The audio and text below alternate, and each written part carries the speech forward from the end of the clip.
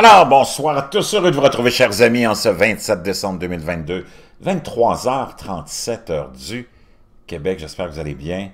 Malgré tout, j'espère que ceux qui sont à vacances, vous passez des belles vacances en famille ou seuls et que vous serez prêts à affronter 2023 qui sera une année extrêmement difficile. Merci à ceux qui sont abonnés, ceux qui ne sont pas, faites-le maintenant. On voit ce qui se passe aux États-Unis, tempête de neige historique, des blizzards meurtriers hein, près de Buffalo. Aux États-Unis, on parle déjà, je pense qu'on est à plus de 55 ou 60 euh, décès, des gens qui sont morts dans leur voiture, des gens qui sont morts frigorifiés euh, sous la neige. Historique.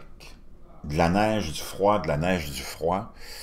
Et là, maintenant, les gens se bousculent pour trouver de la nourriture et des produits de première nécessité. L'armée est dans les rues aussi les gardes sont là, euh, américains, je pense que les gardes côtiers aussi sont là. On interdit aux gens de se promener en voiture. L'utilisation de la voiture est bannie pour l'instant, je pense, dans certains, euh, dans certains coins. Imaginez-vous seulement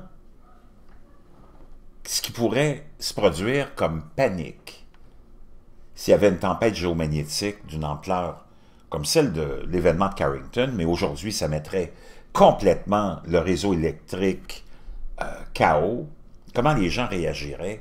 Ce serait l'enfer sur Terre, et ça va venir, et ça va arriver. Il n'y a pas de magasin ouvert. C'est tout ce que nous pouvons euh, saisir, a déclaré un habitant d'une banlieue de Buffalo, euh, dans l'État de New York.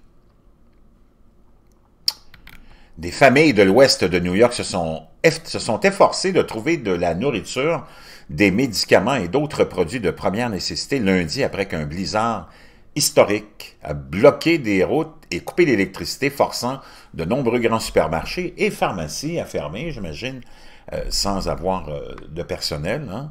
À Buffalo, au, moins 18 personnes sont mortes. Les euh, deux plus grandes chaînes de supermarchés sont fermées depuis vendredi, alors que les dernières prévisions prévoyaient encore un 6 à 12 pouces de neige. On attend encore plus de neige. Il n'y a pas de magasin ouvert, c'est tout ce que vous pouvez saisir, a déclaré Scott euh, 54 ans, qui vit à Orchard Park, une banlieue au sud-est de Buffalo. Entouré de neige dimanche soir, il a mangé un bol de croquant de pain grillé à la cannelle générique. Pour le dîner de Noël, le matin, il s'est inquiété alors que ses réserves de pain et d'œufs diminuaient et que son nombre de boîtes de soupe aux boulettes de viande était tombé à trois. Je commençais juste à m'affaiblir et je devenais juste nerveux, a-t-il déclaré. Donc imaginez, ces gens-là, s'ils étaient coincés dans un cataclysme qui va arriver, dans un événement comme celui de Carrington, une tempête géomagnétique, le monde n'est pas prêt. Les gens ne sont pas préparés à vivre la misère.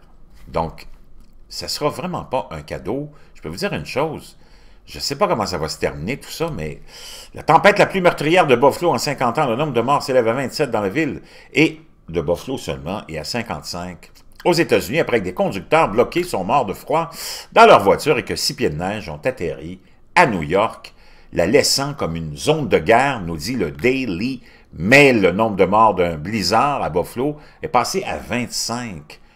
Les conséquences de cette bombe cyclonique ont vu plus de six pieds de neige frapper la ville. C'est maintenant la pire tempête à avoir touché l'ouest de New York depuis au moins 50 ans. Les services d'urgence ont du mal à libérer les gens de chez eux.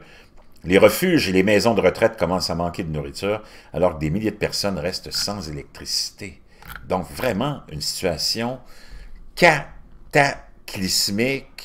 cataclysmique. Pendant ce temps-là, je vous disais, qu'hier, il y a des euh, vandales, hein, depuis des mois et des mois, depuis tout au long de l'année 2022, et c'est resté comme euh,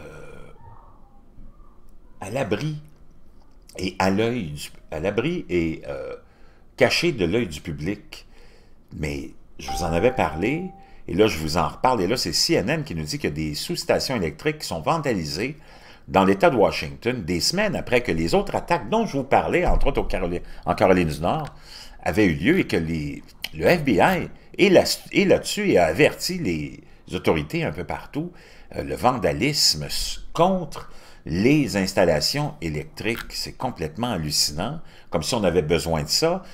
Mais j'ai l'impression que c'est une vague, c'est une mode de tous ces petits euh, gauchistes euh, hystériques et fanatiques et extrémistes hein, qui font la même chose quand ils rentrent dans des musées ils attaquent des œuvres d'art. C'est complètement aberrant, c'est complètement inutile, insignifiant pour donner, euh, pour lancer un message de je sais pas quoi. Ces gens-là sont complètement euh, disjonctés. Et là, on a affaire peut-être au même genre d'individus complètement endoctrinés et très dangereux. Très dangereux. Donc, je ne sais pas comment ça, va se terminer aussi. Là, on dit que les températures vont se réchauffer dramatiquement pour dégeler la côte Est avant le réveillon du Nouvel An. Les températures vont enfin rebondir dans l'est des États-Unis après un Noël historiquement froid, mais les prévisions pour le réveillon du Nouvel An sont loin d'être parfaites. Après un gel profond qui s'est installé pour des millions de personnes le week-end dernier, euh, les météorologues d'AccuWeather disent que les conditions de plus en plus chaudes devraient se répandre dans la majeure partie de l'est des États-Unis d'ici la fin de la semaine.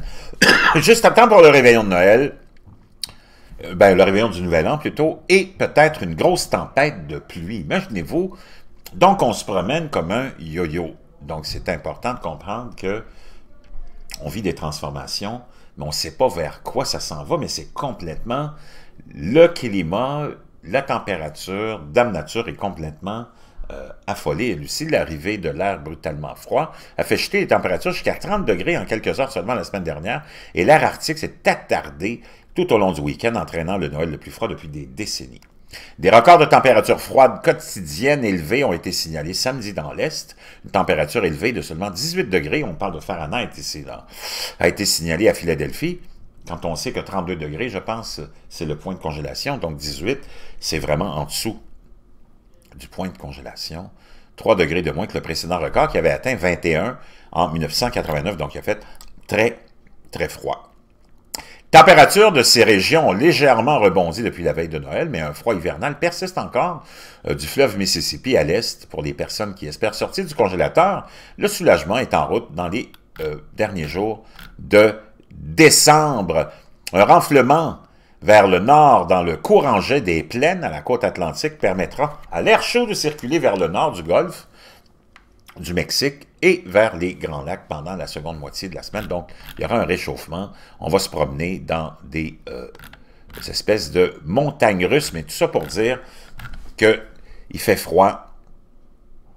Il fait extrêmement euh, aussi froid dans certaines régions du sud de la Floride et euh, à Orlando aussi. Donc, il n'a pas fait vraiment très chaud. On était dans les 40 degrés Fahrenheit.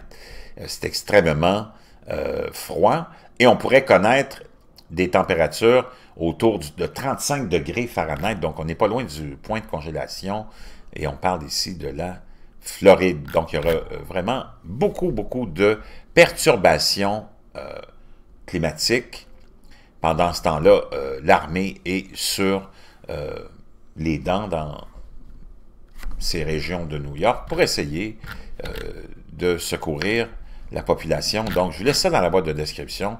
Vraiment, ce que je veux qu'on retienne dans ça, c'est que oui, bon, on le voit, la neige est là, puis elle va rester là pendant longtemps. Hein, elle devait disparaître en 2012, mais ça n'était pas au programme de Dame Nature.